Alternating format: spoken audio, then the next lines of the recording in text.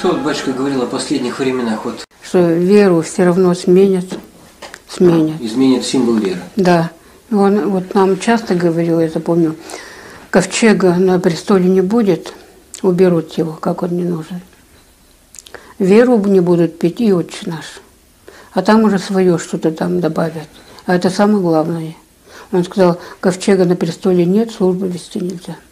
Дарохранительница. Ни в коем случае. Это Ноев ковчег.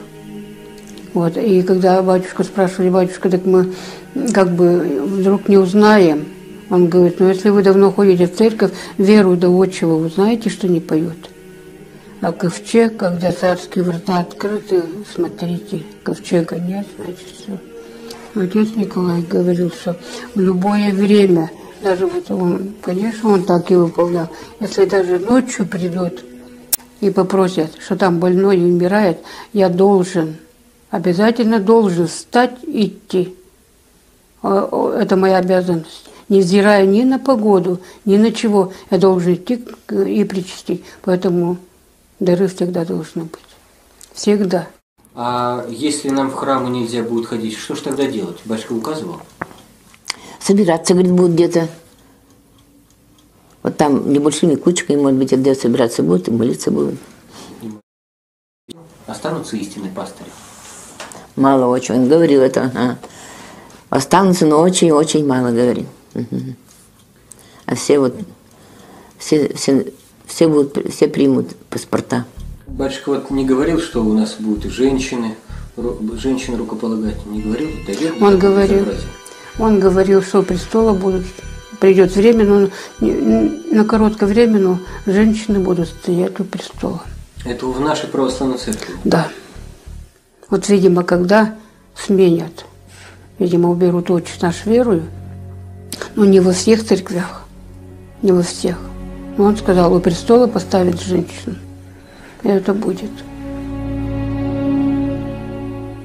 Вот это он все к тому говорил, когда будет беззаконие, анархия, будут голых показывать, и ходить будут голые, ходить будут голые. Это он все вот это, вот в купе все говорил после советской власти. Вот это все будет как. Ну, сейчас так и есть, как видим. Вот та- также он и говорил, над женщинами враг уж издевается всяко-всяко. Вот эти все моды, всякие короткие, каких только нету. Все, а над мужчиной как бы он не смог. Как был костюм, так и есть костюм. А батюшка ответил, нет, над мужчинами враг надсмеялся. Только, ну, как он сказал, не все видят. Это не все видят. Не, не для всех понятно. Раньше хозяин был мужчина в любом доме.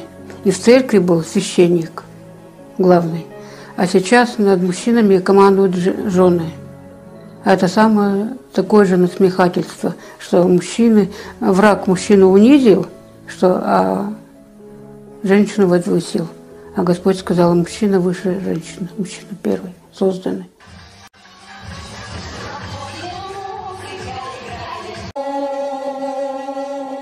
Да, как до потопа люди были, разврат, сильный разврат был до потопа, так и перед пришествием Господним сказал, так же будет разврат, очень сильный. И голых показывают, и детей приучать будут. Он говорил, что это уже как приближение, когда детей будут учить, это самое страшное. Это очень большой грех. Это уже самое приближение, как кончение.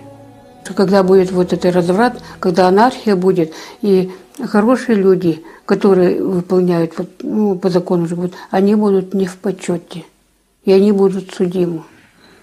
Их будут осуждать, что ты не так живешь, живи так, как мы живем.